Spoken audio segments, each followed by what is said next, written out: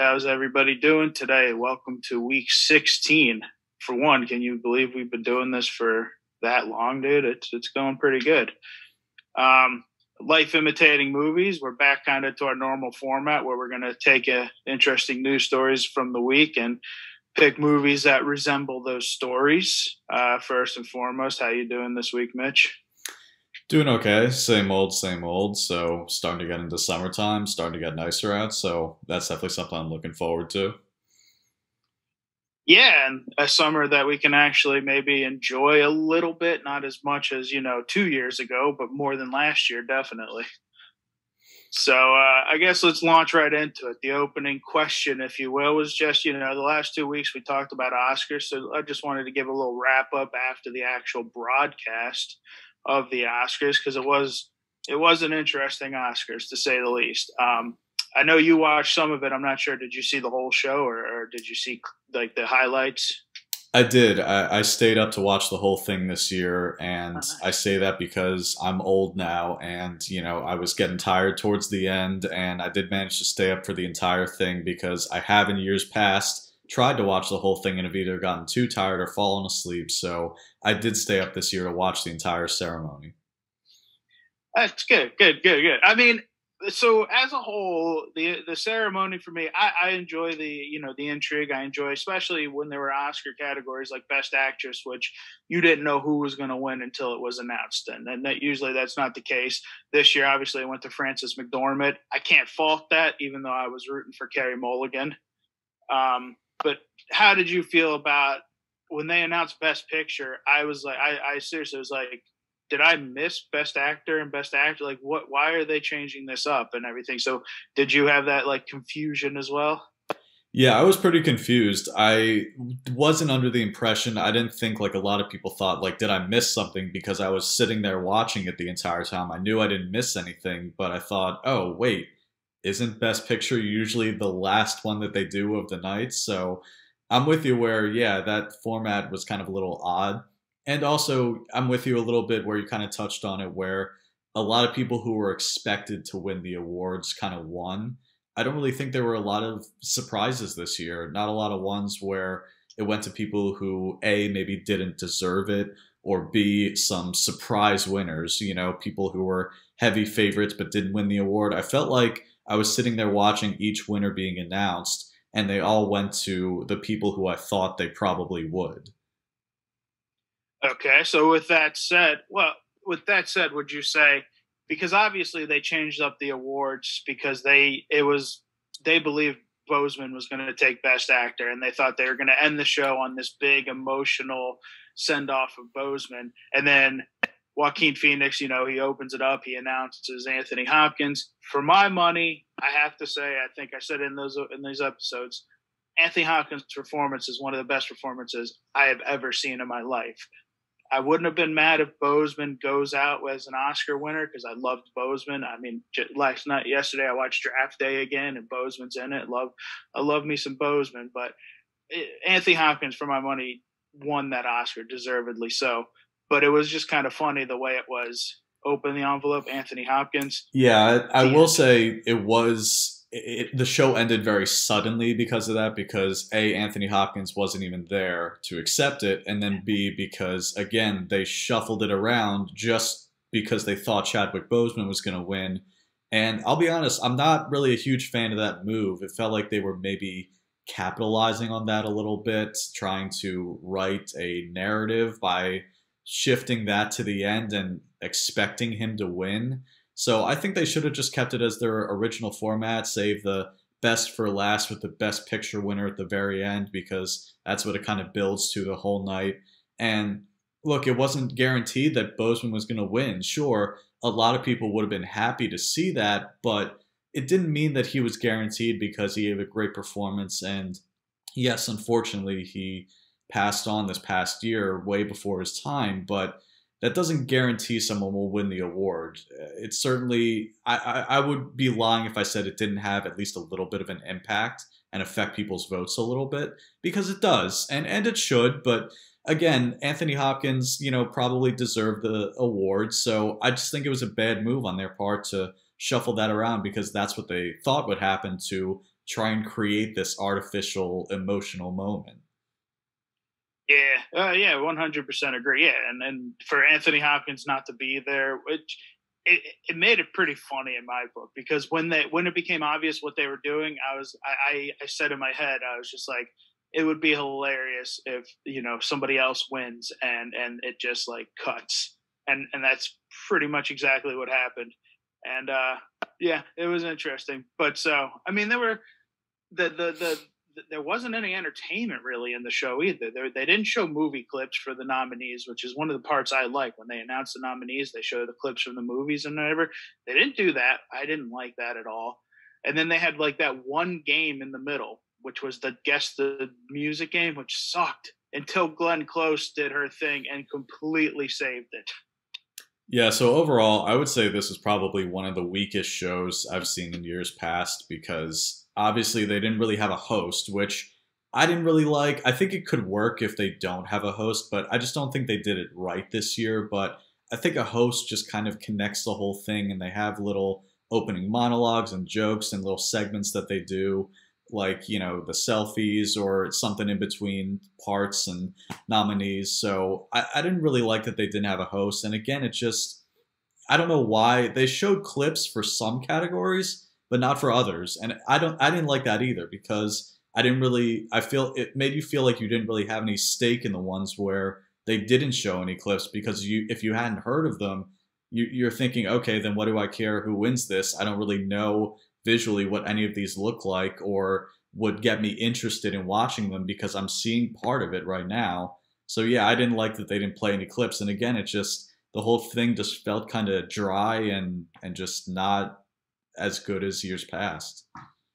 Yeah, yeah, yeah, yeah. I'll end on that. Yeah, you hit the nail on the head. The the this year's Oscar was uh, you need a host. It was proof positive. It needs a host. I, the Regina King opening, it wasn't funny. It wasn't. It was okay. I mean, I like Regina King. I thought you know if she was nominated for One Night in Miami. I would have been happy with that because I thought she did a great job. But it just was not good. Her opening wasn't good. It wasn't a great way to open the show. You need a comedian to step out there, make jokes, bust balls, and like bring it home. Have that connective tissue throughout the show that this this one sorely lacks. So I, I hope next year maybe they get somebody like a Ricky Gervais to bring it out and do like what he did for the Golden Globes. So, first story out of the gate is there was a pretty big story this week about a uh, a missing submarine that um, was unfortunately found apparently broken in three separate parts on the bottom of the ocean. Um, it was a, it's a, it was an interesting story. You know, you don't you don't hear too much about that type of stuff in today's world, and it it to me it felt like a very cinematic story. You know, a submarine gone missing and then found broken in part and everything, and all the crew members obviously unfortunately passed away. So, how, what did you think about that story and all that?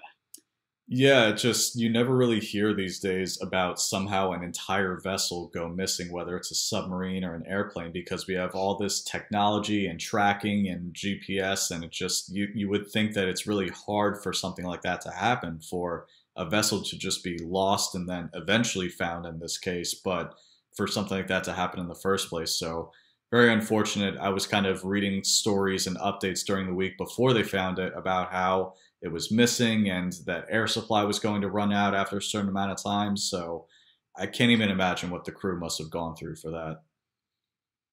Well, there was a story I read after it. Um, I didn't flag it. It wasn't in this story, but apparently there was a transmission of all the crew members together singing a song as if they knew they were going to this was the end for them and they were all got together and sang together which reminded me of like titanic where like the band played on as the ship went down and stuff. So it is definitely a tragic story um, one that you know we don't usually touch on those tragic stories on this. We try and keep it lighthearted but you know but i guess that'll lead in you know my movie. I, I did pick a movie that was a little bit more lighthearted to, to juxtapose to use a film term but I went with Yellow Submarine, you know, the Beatles, Yellow Submarine, because, you know, it's a submarine movie.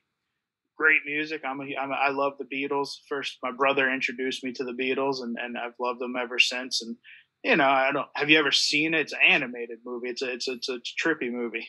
I've seen bits and pieces, clips, but I've never really seen the full movie. But of course, as with everybody else on planet Earth, I'm familiar with the Beatles' music, of course. I, I, I don't know a single person out there who actively dislikes their music. And if there is that person, then I wouldn't be able to trust them because who doesn't like the Beatles' music, if, if not even they're impartial to it? So I'm sure it's certainly an interesting movie, but it's not really something that I would put at the top of my watch list, but probably very interesting watch. Yeah, I mean, it, it's basically if you like the Beatles' music, you're gonna mm. probably enjoy the movie. I mean, it's it's it's one of those movies I believe people always say you got to watch it high. I don't get high. I'm not a smoker or anything. I don't do that stuff. But it's like I can understand that because the visuals and the Beatles and in of itself and everything. And Yellow Submarine, man, is, is a great song, man. And and I think Octopus's Garden is in it, and I love Octopus's Garden. Yeah, as soon as you said the words Yellow Submarine, of course that song popped in my head and now it's stuck there. So, you know, the Beatles are just one of these all time iconic bands that everyone knows their music in some way, shape, or form. So I'm sure it's an enjoyable movie. Oh, yeah.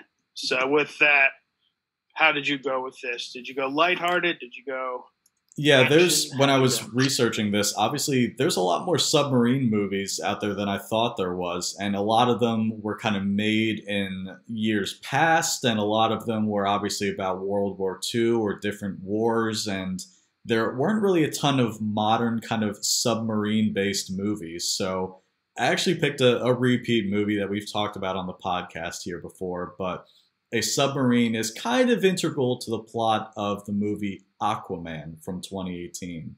And if you remember the movie, it's because a submarine is kind of hijacked at the beginning, and that's kind of the opening action set piece. And then it's used as a catalyst to try to start a war between the Atlanteans and the surface world. So that's where I kind of tied it, tied it back to, into the story. So we've already covered here on the podcast a little bit, but anything else you want to add about Aquaman? Because I really like it. I think it's action packed, well shot, well directed, very colorful. Uh, I liked how they did the underwater effects and all that that kind of went with it. James Wan involved with with this one, great filmmaker. So, anything else you wanted to kind of add about Aquaman here? Nah, I'd say of the DC movies, that is my favorite one. I would say Aquaman is my favorite of the DC. I like the character.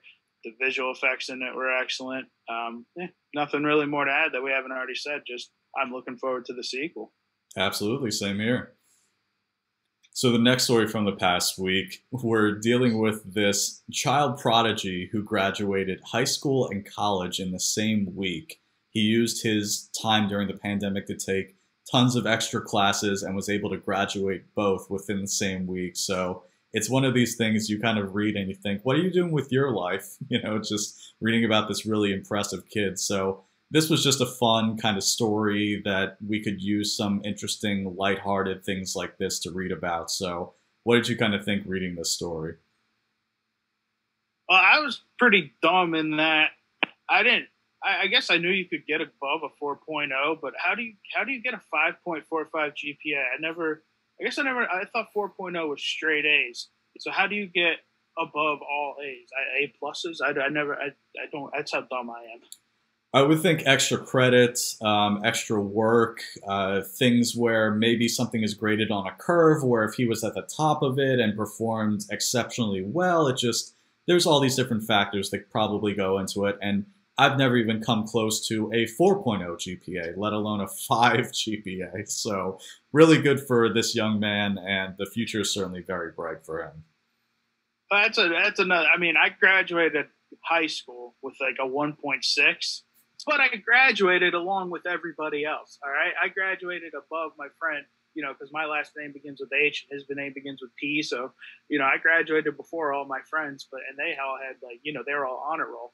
But for college, you know, I graduated college with perfect attendance and a 3.8. So, it, you know, I'm happy with that. I'll, I'll yeah, a little little one. humble brag there. So, yeah, yeah. In, in terms of movies relating to this, I kind of went the child prodigy route. So, the movie I selected for this was a little animated movie called Big Hero 6 with obviously I knew, a I knew you were going to pick that. a, a young child genius kind of at the center who deals with his the loss of his brother and his robot Baymax that we all know and love and his microbots that he creates. So Big Hero 6, I think I don't think anyone anyone really looks down on this movie, but I still think it's it's a little underrated. You know, it's a very fun, original kind of animated movie by Disney Pixar. And I'm surprised they haven't done more to make sequels or spin-offs or just basically do what they usually do with a popular movie that they have and run it into the ground with other properties. I, when looking at, I, I, I did type in, you know, movies with, with intelligent kids and Big Hero 6 popped up and I was like, in my head, I was like, that's the movie Mitch is going to pick. I, I know it. And you did. And I didn't pick it as well because I hadn't seen it in so long. I couldn't really talk intelligently about it. So I didn't pick it. But I think they did do a, an animated show on Disney, didn't they? I think Betamax or something. They did. They did some kind of animated series, and I, I just I'm just surprised because usually it, when studios want to make the most money off of a film that did well and kind of extend the the timeline for it, they would make a, a sequel. They would make an animated movie sequel to this because movies are where the most money is made. Although I'm sure I can't really speak for toy sale numbers which I'm sure were pretty good for this as well, along with all the other Disney movies. But that's where the money is. If a studio really wanted to make the most money, they would have made a direct sequel to this as soon as possible. So we still might see one someday. It's not completely off the table. Yeah, I wouldn't be surprised if we see it because it is a Marvel property too. I think. I think it was based off of Marvel and stuff. So my pick was movie from the '80s, John Hughes, Weird Science two genius kids create a woman on the internet. I mean, it's it's a great movie. Yeah, I, am familiar with Weird Science, but I haven't seen it. So I, I know of it. I, have seen bits and pieces, but haven't really seen the whole thing. So my first question, kind of dealing with this movie, talking about in 2021, do you think this movie gets made today if someone came to the table with the same concept and same th- if this movie had never been made in the 80s? Do you think it would have been able to be made today with its its plot? Yeah, I, I, would say they could make it today, but it would be more, uh, you know, the because honestly, the model and I think it was Kelly LeBrock, I believe, but I believe she was she was pretty a strong woman character. She was like she wasn't just there as eye candy. She was pretty. She was a strong female character. Obviously, John Hughes movies have come under fire in recent times due to you know you look through the goggles of now and you criticize the movies of the past. But um, so there would be some changes, obviously, but it's hard to you can't change perfection, man. John Hughes movies were pretty well perfection. Yeah, and I think this isn't really the John Hughes movie that everybody talks about when they talk John Hughes, but it's certainly, you know, people look back on the movies that he's made with reverence and they really like his his work. So I think this isn't really the top of the list if somebody's doing a John Hughes marathon, but obviously a filmmaker that is loved by a lot of people that people are very nostalgic for when they think about the 80s and his movies. So certainly something to put on your John Hughes watch list if you wanted to just run through all of his movies. All right, so another story that came out pretty much the day after the Oscars was uh, the Oscar winner this year for Best International Film, Another Round, is uh, was bought for remake rights by Leonardo DiCaprio's company with a potential starring role for Leonardo DiCaprio in it. And and the reason I picked it, even though we'd already talked about the Oscars in another round a little bit, was this for me is one of those movies where I mean you you always hear the internet get a fervor or whatever about like how dare they remake Perfection. I'm sorry. You always hear the internet talk about how they get in fervor about you know how dare they remake Perfection and um, and and for me, this is a movie where I kind of agree because when I saw another round, I thought that was a damn near perfect movie. And even though Leonardo DiCaprio is one of my favorite actors, I just don't see how they improve on the original. Yeah, I'm willing to give it the benefit of the doubt because we've had kind of almost shot for shot remakes made of either foreign films or one film to another. To give an example for that, there was a Swedish movie, excuse me, called Let the Right One In. And then it was remade a few years later in America, and it was shortened to Let Me In. And a lot of people said because the original was good, why why do we need to remake it? Why do we need to put our own spin on it when the original is already very good? And Let Me In, I think that one, I can't remember what kind of reviews it got at the time, but it turned out well. And another example, again in the horror genre, because maybe this is a trend in that genre, but another example is the Japanese movie Ringu, which was then later remade into The Ring. So I'm willing to give this one the benefit of the doubt. Sometimes, even if you're making a shot for shot remake, it could still add something, or even just seeing different performers or a different way that it's shot, even if, if it's the same plot and the same setting. I think it still could bring something to the table. So I'm willing to wait and see on this one.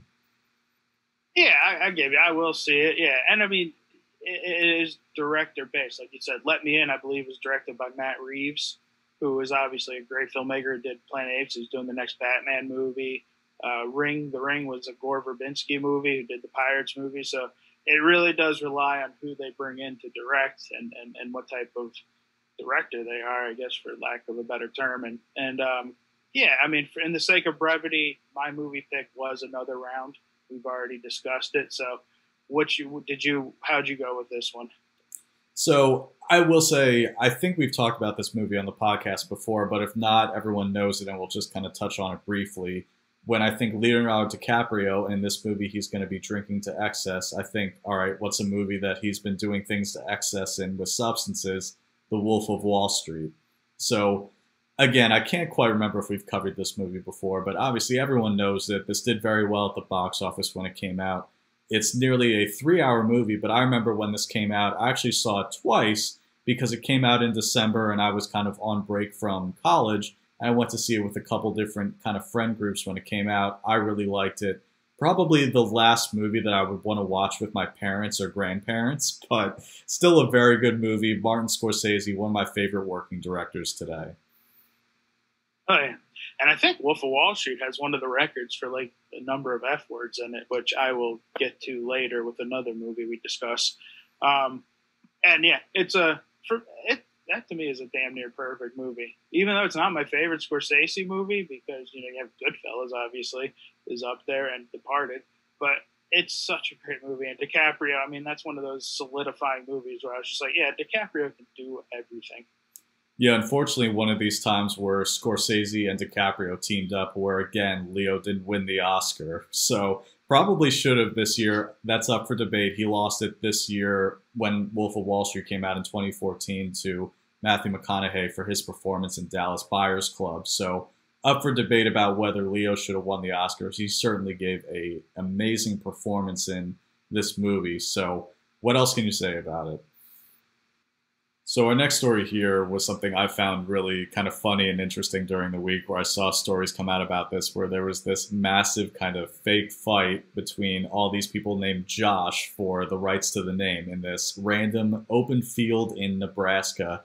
Just this fun, everyone had pool noodles and were just kind of fighting each other and just kind of whacking away. And it just looked like a really fun get together, a bunch of people who dressed up and just had a, a bunch of fun kind of dueling each other and just it just looked like a fun time. And, you know, even more so because the winner was this four year old named Josh who they gave it to, you know, what have you. But it seemed like a really just fun, wholesome event that people took part in. Yeah, so like one of my closest friends is named Josh. Uh, I've known him for over thirty years and everything. And when I was reading this story, you know, we sent I sent him the link and everything, and I just was thinking like, you know, the four year old won at the end, but knowing my Josh, my friend Josh, uh, he would have never let the four year old win. He would have come in at the end and hit the kid with the pool noodle just so he could win. That, that's that's not my friend Josh, and I, I, I think that's pretty funny. Um, I, I I like that they let the four year old win though. So we might have the same movie on this one because when I was reading this story, I thought immediately of this scene in this one movie where they did something similar with a group of people getting together and dressing up and kind of, you know, dueling with foam weapons and such. And that's the movie Role Models. So did we have the same movie on this or no? That's unfortunate. But anyway, Role Models, there's uh, a scene where the kid in the movie, played by Christopher Mintz-Plasse, is part of a LARPing community. And for those who don't know what that means, it's live action role playing where people dress up in costumes and kind of fight with foam or plastic weapons and just kind of have these battles or little get-togethers or duels. So this clearly made me think of that movie and that scene. Role Models, I think, is an okay comedy. I wasn't as enamored with this movie when it came out and everyone else was seeing it and said this was hilarious. You got to see it, and I did, and I thought it was just okay. So I'm kind of in the minority, I guess, on that one because it seemed like again a lot of people when the movie came out really loved it, and I just thought it was an okay comedy. Yeah, you are in the minority on that one. That to me is uh, one of the best comedies I think ever, dude. It's it's it's it's not even it's the script is hilarious and the the the the the, the, the improvs in the movie are hilarious and and yeah, no, I love role models very much and I can see how you came to that movie. That one didn't even cross my head, in all honesty. Um, I, I guess I'll I'll launch into mine because mine is a movie that you may not have heard of, but when I heard this story, it was the only movie I thought of, and it's a movie that came out a few years ago called Joshy. You heard of Joshy? Okay, now so Joshy, you remember a few years ago there was this trend of this mumblecore trend, which essentially was these low budget indie movies that were they would give an outline of what the story was, but it was all improv. So all the dialogue was improvised. And so this movie has Thomas Middleditch, Adam Pally, Nick Kroll, Jenny Slate, you know, a lot of big, big time improvisers and stuff. And it's just about Josh. He's a guy who's going to get married. His wife kills herself. So then him and his friends go on the the um, the bachelor party they were going to go on anyway to this house in the, in the in the woods or whatever in the mountains to kind of like cheer him up from it and everything. And it's it's a funny movie, but it's also got like that you know kind of dramedy type part of it. And I watched it again the other day because I hadn't seen it since it came out, and it, it's it's pretty good, man. I mean, it, you know who those people are, Thomas Middleditch and all them. I knew a couple of those names, but I can't say I knew all of them. Right on. Well, I mean, Thomas Middleditch and Adam Pally are people who, when I did improv in LA, they were people I saw doing improv, and like, so I be, became massive fans of them because they were like two of the funniest people who I saw doing improv. So, like, when Thomas Middleditch, you know, got pretty big with Silicon Valley and all that, I was like, right on, because he was one of my favorite improvisers. And and this this mumblecore genre they have some good movies, man. There's one one of my favorites is called Drinking Buddies with Anna Kendrick or whatever. Just an improv movie. It's phenomenal. So you learn something new every day. That's certainly one of those more out there recommendations. These kind of movies where we've talked about on the show where people may not have ever heard of them. That you know maybe some people might check out based on our recommendations. So you know this is just part of the show where we talk about popular movies. We talk about not so popular ones. So I like to think that we have a pretty wide array of movies that we are able to discuss and kind of talk about that maybe people haven't heard of before.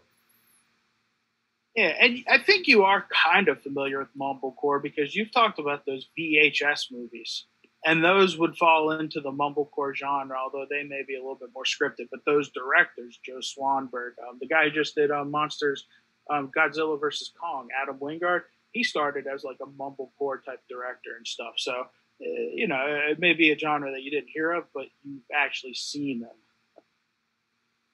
All right, so the next story was just a, a story about a guy who picked up a 7-10 split in professional bowling. Apparently, it hadn't happened since 1991. I was under the impression that professional bowlers were just like able to get 7-10 splits like like they were nothing, but apparently not. But I brought this movie to the table because I wanted to ask. We both met in sports related things. We both enjoy sports. To you, is bowling a sport? Yes, I mean, it involves physical exertion and skill, which is what I determine as the core values for a sport. And look, esports and NASCAR and these other kind of ones that people debate about whether or not they're sports, that's up for debate that's a separate topic that you know we can cover offline or on a different type of show. But yeah, I think bowling does count as a sport, and I thought I found this this headline shocking too, where I can't believe I, I don't know what context they kind of mean in professional bowling in around 30 years that no one was able to nail a 7-10 split because again I think they I thought they were just trained how to do that but I feel like there's one of two different movies that you can pick relating to this story, bowling movies to kind of relate to this. So I'm interested to hear what your pick is. All right. Well, first off, for my money, bowling is a game, not a sport. Much like pool, pool is a game, not a sport. So, as you said, there are two movies that we could go with. We'll see if we pick the same one. If not, there. The one I went with was Kingpin. Okay, I I picked the same movie. I picked Kingpin. The other one I was kind of talking about as a bowling movie when I was doing research related to this story was The Big Lebowski, which technically a bowling movie. You could count it as that, but again, the true candidate in my eyes for a movie relating to the story, a bowling movie, was the movie Kingpin. Perhaps an unknown comedy from the '90s that that not that many people may know about. I don't know if I'd go. I, I'd I, would say it was a pretty popular comedy. I thought maybe, maybe, maybe. I mean, we are what we're eight years apart. Maybe it's a generational thing because I remember seeing that in theaters with my grandma, and she cracked up. She loved it, man. And it's it's a hilarious movie from the Farrelly brothers. Obviously, Dumb and Dumber. There's something about Mary, and then Peter Farrelly went on to direct, you know, Green Book and won the Oscar for it, which I loved. Just growing up on his comedy movies and seeing him take all these Oscars was was gnarly. But for my money, man, Kingpin is hilarious, man. It is, it is, it is a downright hilarious movie. Yeah, I think that's something it has going for it, where it's a comedy with a different type of premise, and it has different types of antics and characters to it. So it's got a solid cast, but I say maybe it wasn't known by mainstream audiences or listeners because, again, I wasn't really kind of fully mature when it came out in the 90s. I was still a little kid. And the way I saw it was because my dad had it on VHS, and I just kind of watched it one day with him. But you know, so that's why I say maybe this wasn't super well known at the time because again, if you mention the movie to somebody now in 2021, would they know the movie Kingpin? Yeah, I guess that's fair. Yeah, a lot of these good movies are falling by the wayside. Stupid millennials. Yeah. So, what do you have to say about Kingpin to kind of get people to see it? What kind of made you like the movie, or what do you think it has going for it that's different than other comedies out there? Well, for one, it's got Bill Murray, and I think anybody who likes any, if you like comedy at all, you must see every Bill Murray movie ever made because Bill Murray is a master of comedy, and it is phenomenal. And I, uh, the Farrelly brothers those early Farrelly Brothers movies, like I mentioned, there's something about Mary, Dumb and Dumber, Kingpin. Some of the later ones not as good, but those early ones, man, are they're a different breed of comedy. They're gut level laughter comedy for me. Yeah, so I would certainly recommend Kingpin to anyone who wanted to check it out. Certainly a quirky, kind of different comedy that's based in bowling. So I think it's definitely worth a watch if people maybe haven't heard it or haven't seen it before. So, for our last story of the week to kind of wrap up here, we're talking about the news of the movie Captain America 4 kind of being announced, but not really in a big way this past week. But Anthony Mackie is obviously going to be starring as the new kind of Captain America in this movie, and we don't really know too much about it yet. And we're not going to dive really into spoilers of the TV show, The Falcon and the Winter Soldier, but if you didn't know that Sam Wilson was going to become Captain America by the end of it. Sorry, but spoilers these days, they're almost non existent. People don't really. Obviously, this was a big story that came out during the week. And yes, the, the title is sort of a spoiler about the end result of the show a little bit, but these are the times that we live in. So I, for one, am looking forward to this. I think it's going to be a breath of fresh air for the mantle of Captain America. And Anthony Mackie certainly deserves this role, and I'm excited to see where they go with this. Yeah, I wrote that as yeah. It's it's the the article in of itself is a spoiler for the show for the series. Um, as far as the movies go, yeah, anytime a new Marvel movie gets announced, I look forward to it. I've enjoyed all the Marvel movies for the most part.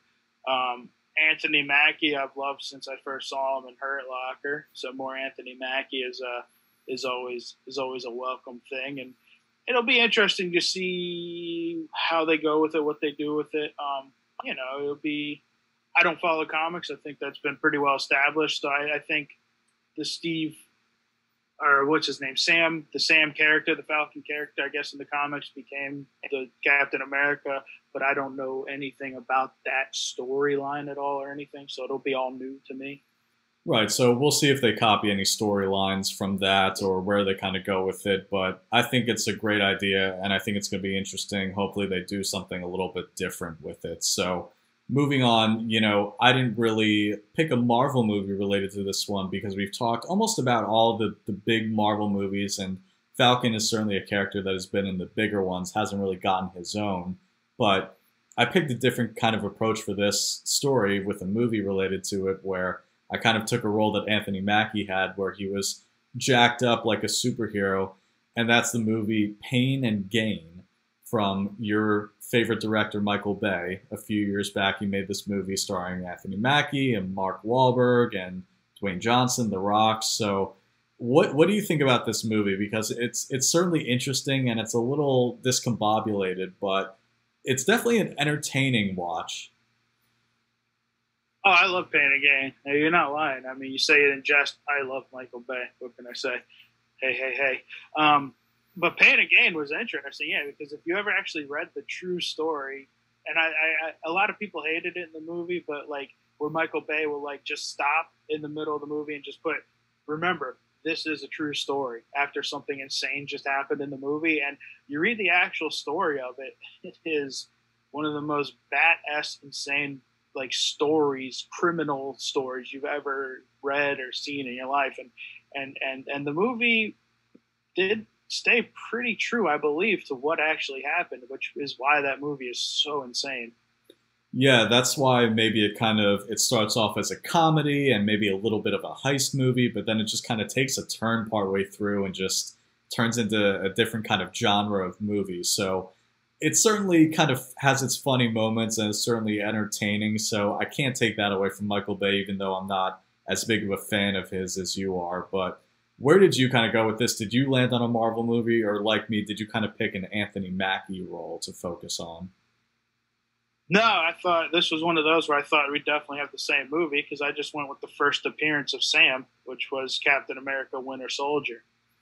Because, you know, when it first came out, you know, I, I like the idea that Sam, the character, was just a dude. He wasn't a super soldier. He wasn't, you know, he didn't, he wasn't involved in a gamma ray experiment that made him her. He was just a dude who like came on as Captain America's, you know, buddy. He was his sidekick and everything. And Falcon, he had these wings and everything. So I kind of like the ascension of that character where he starts as the sidekick and now he is he is Captain America. Yeah, it's a great kind of storyline and character arc to kind of follow along with through all these different movies. But uh, Captain America and the Winter Soldier, this is basically how the Russo brothers got the job of directing the bigger movies down the line because Captain America and the Winter Soldier is a fantastic movie. It's probably, if you twisted my arm, probably my favorite Marvel movie to date. And that's cl- including the Avengers ones, the big ones, because I think this was the most well made movie out of all of them. It did different things, it had great character moments, fantastic action, and a really intriguing plot. So I think those are some things that maybe have been not as good at as the Captain America Winter Soldier movie with the later ones, where they were maybe still good in all those different areas, but maybe lacking a little bit, not quite as good, not as much of a different kind of well put together movie that the Russo brothers directed and came onto the scene with in the MCU with this one. Yeah, I think Winter Soldier was kind of the first because yeah, you know, Iron Man, all those felt a little self-contained almost, even though they were part of the bigger thing. But I think Winter Soldier was the first one that kind of set the, I don't know the word, the mood or the tone for the movie, the the Marvel Cinematic Universe through Endgame. Who knows how it's going to look from there? I think Black Black Widow might have the same kind of feeling to it, but and, and it was interesting when I believe Winter Soldier was first announced because Joe and Anthony Russo were mainly known as uh, sitcom directors. They came from Community, that show Community, and so if you go back and read the internet, the internet from back when they were announced, everybody was like, "How are they going to have comedy people come on to do these big movies?" And they went on to be like, you know, the best possible directors for the, this, this series of movies. Absolutely. And look, like all the other Marvel movies, it still does have some humor in it, but I think that's part of the reason why I like this one so much more is because they didn't overload it with jokes or undermine a key scene with a joke or undermine a character's loss of a loved one with a joke or something getting destroyed and undermining with a joke.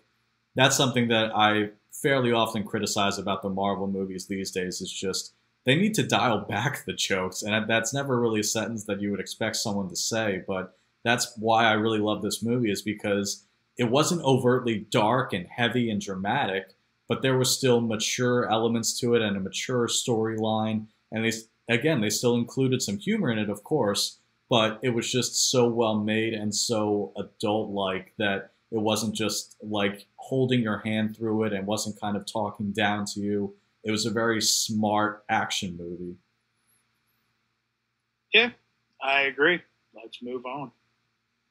So, wrapping up this week's episode, we're talking about another new release movie, and we haven't really had quite that many, but again, a big movie that everyone's been talking about from the past week that we'll see if it gets made into a sequel, but that's the movie.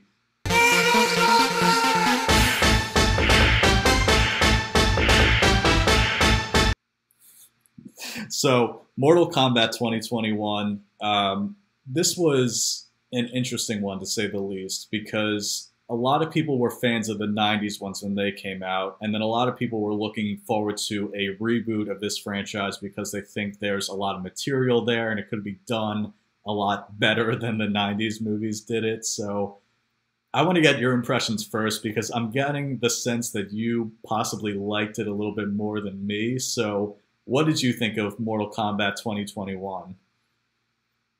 So, when we first started this podcast, I said that one of my things was I didn't want to trash movies, but like the internet trashes movies because it just seems so easy and everything. Unfortunately, yeah, I, I hated this movie. I uh, I did not like this movie at all, man.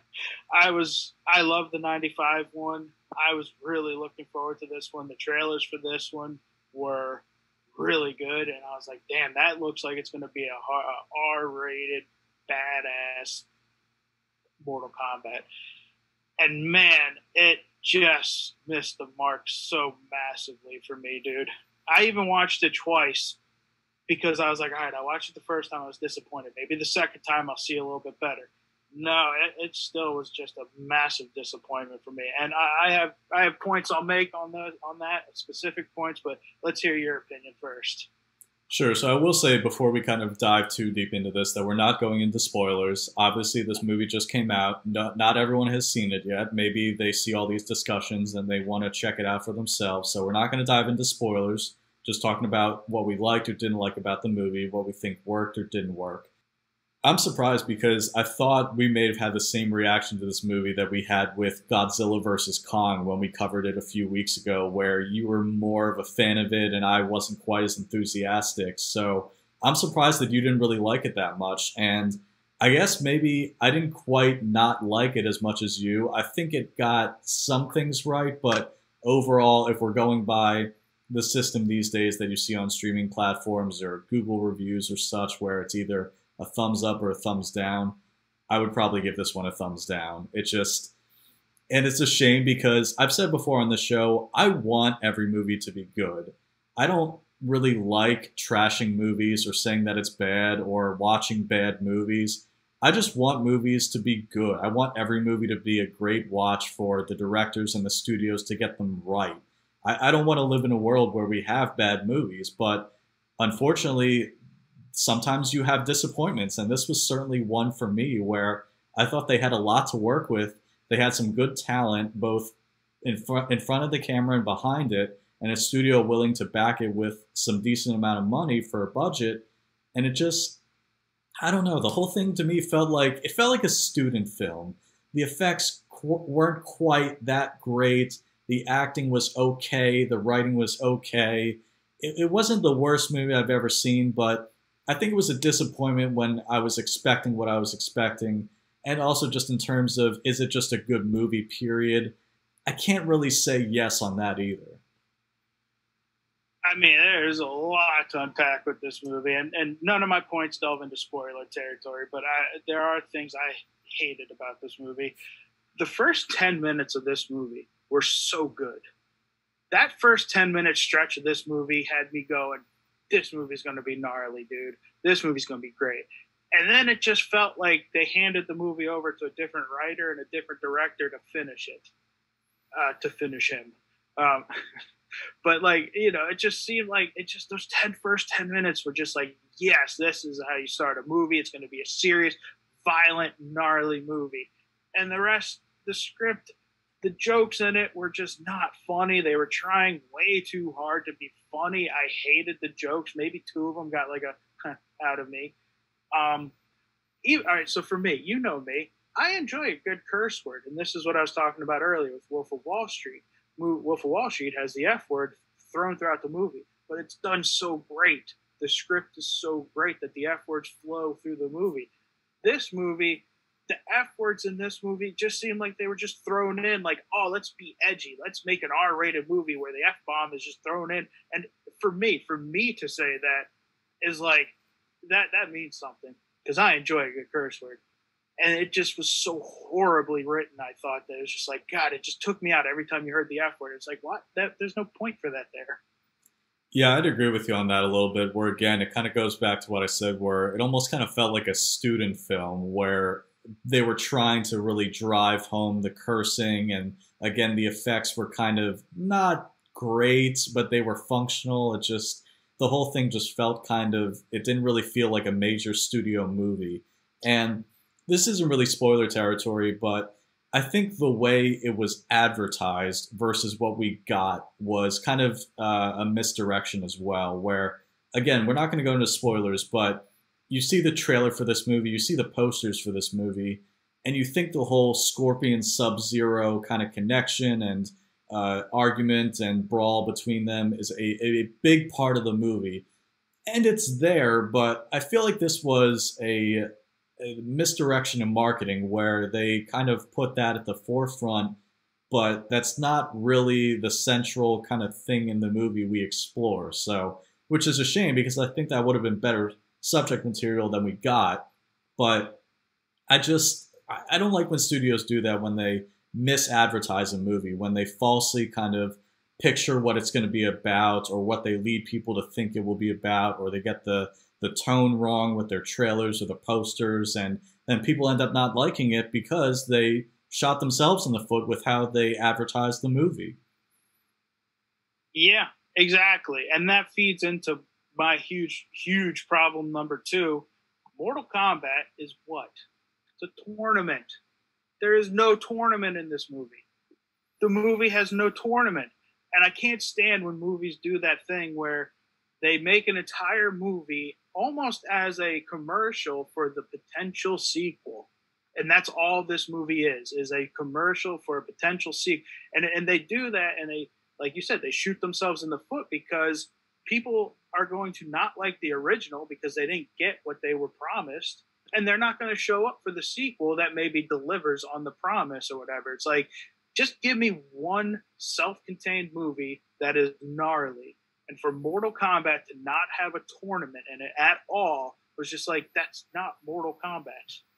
I 100% agree because I really hate that's another thing that studios do these days where they make a movie just to make another movie. That they don't really focus on the first one and make it a good standalone movie, that they just cram it full of bait to come see the sequel, come pay to see the sequel because we kind of swindled you with this one.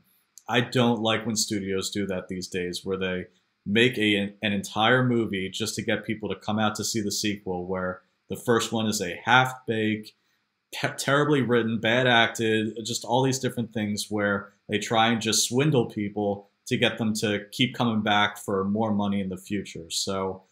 I will say, look, I, I'm still kind of looking forward to the sequel to this because, again, that's not really a spoiler excuse me, saying that there's no tournament in this movie because that's almost kind of saving people some disappointment.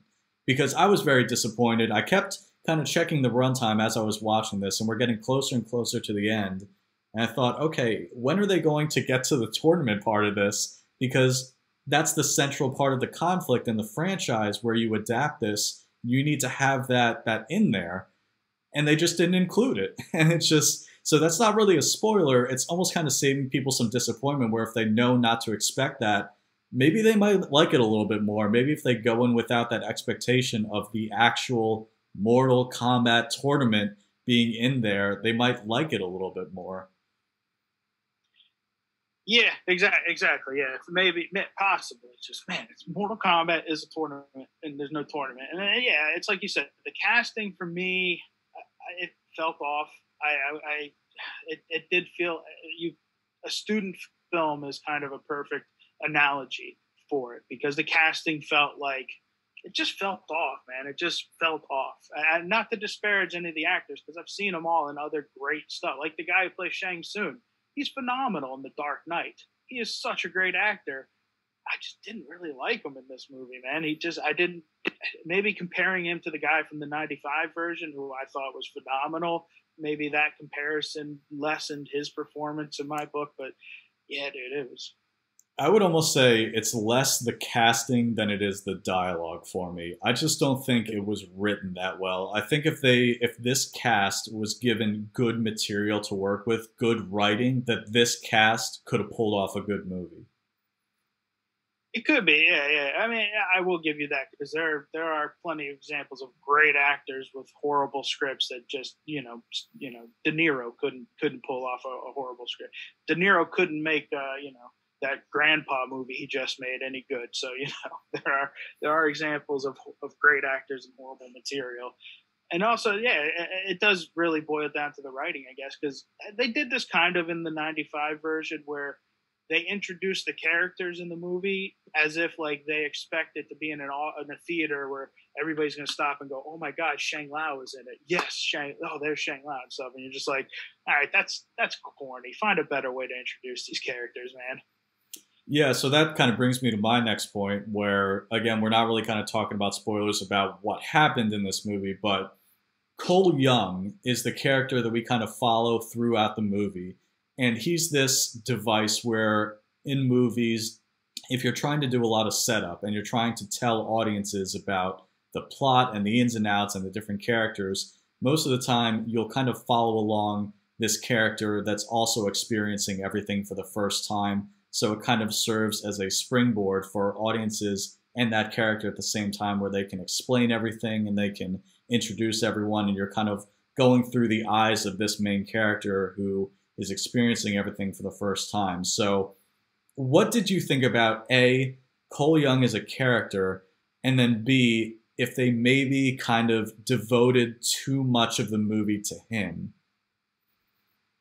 Uh, well, that was I don't again. It's kind of like with comic books. I don't really follow the games very much. I played the games back in the day. I'm not a big gamer. So is Cole Young a character from the game, or is he just a brand new for that's, movie? That's kind of bridging on spoiler territory. So I can't really say whether he's based off of somebody or not. So you know we can't really go into that. But just what did you just think about him as a character, and then how much screen time we spent with him versus other people? I mean, I, I that wasn't a huge thing for me because I understand in any movie you have to have your main character who you're rooting for. In the '95 one, it was Liu Kang was the main character, but I guess Liu Kang was more of a known character back then, and he's one of the main guys. Um, I know a lot of people had issues that Johnny Cage wasn't in this movie or something, but with Cole Young, I didn't mind it. And and the guy again, that's another guy actor who was in he was in Deadpool too. So I was like I was a fan of the guy before going and seeing the movie and stuff. And so that wasn't one of my issues. I understand in a movie you kind of got to pick the main guy to follow through, or it could become just too many characters that you have to keep a keep a, a attention to. That's fair. I just, you know, for me personally, if you couldn't tell by my line of questioning, I just thought they spent too much screen time with this one character where you have all these different, unique, diverse characters and interesting stories that they have to tell. And then we're following Cole Young, who's pretty much just a regular guy throughout the movie and really honing in on him and stuff going on with him. And I just think they they devoted too much screen time to that, and instead of again the tournament or these other characters or what they were going through. So I wasn't really a huge fan of that kind of aspect of the movie. And again, it just I felt like they they made the whole thing to lead up to a sequel. So with that in mind, I'll ask you because I'm a little on the fence now. Will you watch a sequel to this movie if if it gets made? Uh, yeah. Having said all of that, yeah, I'll absolutely be watching the sequel. Let's be honest.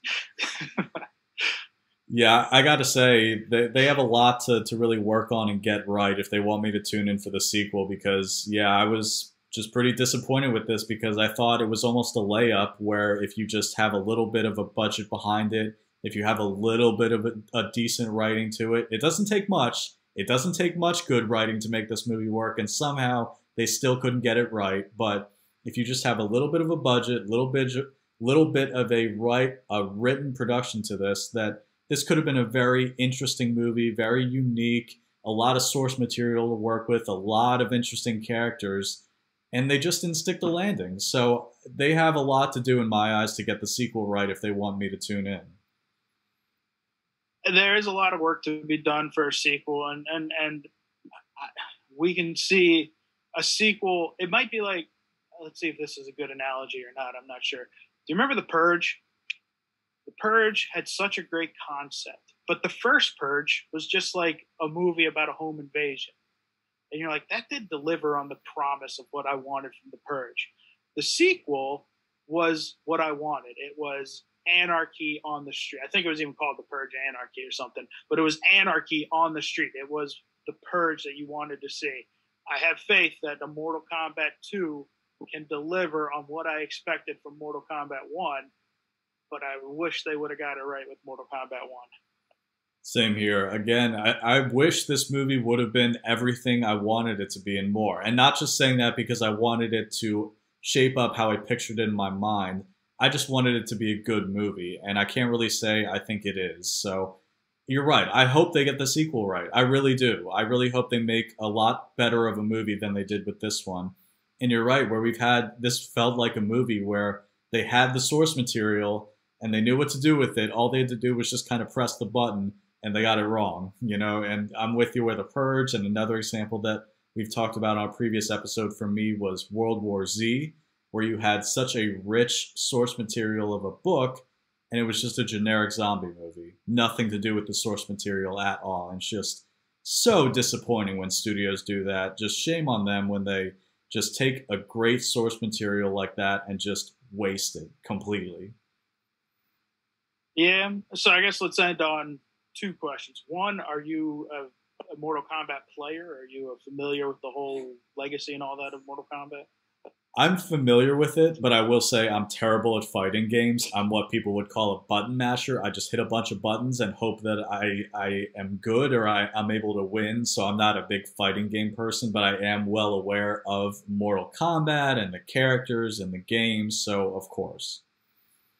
And then, second was the movie, the 95 movie. I, I can't remember if we talked about this on podcast or off, but uh, were you a fan of the 95 movie or, or no? I've seen bits and pieces of both the Mortal Kombat movies from the 90s, neither all the way through. And I got to say, maybe it's a nostalgia thing for people that saw them back then, but I think they look terrible. I think they look like super dated, terribly acted. I mean, they they could be funny as kind of B movies where you go back and it's unintentionally funny, kind of like a Sharknado, but I, I think they look terrible. I think people just kind of look at those with nostalgia goggles. Perhaps I mean, yeah, I love the '95 version. The sequel, Annihilation, no good at all. But but the original '95 one, and again, yeah, like you said, it could be it could be nostalgia. Because um, I remember the soundtrack for that movie was phenomenal too. My parents got me to they bribed me to stay home one Halloween, the Halloween '95, instead of going trick or treating. That my dad bought me the Mortal Kombat soundtrack as a way for me to stay home and hand out candy with him. And I was like, right on, I'll do that, no worries. So there's nostalgia there. But so Mortal Kombat 2021, both of us a little sour on it. We'll see what they do with the sequel. All right, so that's going to do it for this week's episode of Life Imitating Movies. Uh, hopefully, we picked some good movies that you may go back and, and check out. You know, maybe you hadn't heard the term mumblecore before, as it doesn't seem Mitch had, but it's an interesting genre and some good picks in there. And Mortal Kombat. What more can we say that we already haven't said, man? You got to watch it for yourself, obviously, because those are just our opinions. But you know, some people dug it, some people didn't. So, anything you have to wrap up there, Mitch? No, just looking forward to covering some more new release movies when they come out here during the summer. We're going to be getting some more as they're released on streaming services and maybe people start getting back into the theaters. So hopefully we'll have some more kind of big new release movies to talk about in the coming months here. Yeah, there you go. So we'll see you next week. Uh, what's it, as Mitch always says, we'll see you next Monday, 10 a.m. sharp. And uh, take it easy.